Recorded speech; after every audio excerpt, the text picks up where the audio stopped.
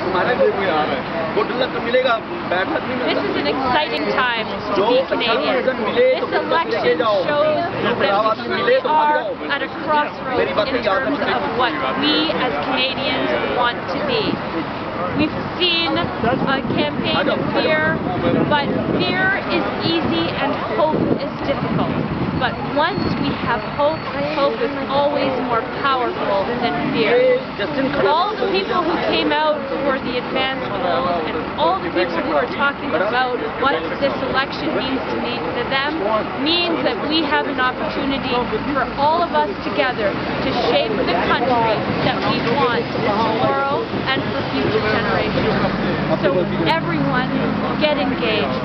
Go, vote, choose the future that you want because Canada, we know, can always be better and we have a nation to build. Go vote on Monday, October 19th.